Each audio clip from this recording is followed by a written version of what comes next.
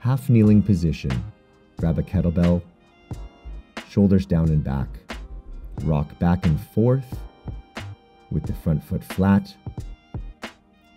Exhale as you lean forward. Drive through the back toes.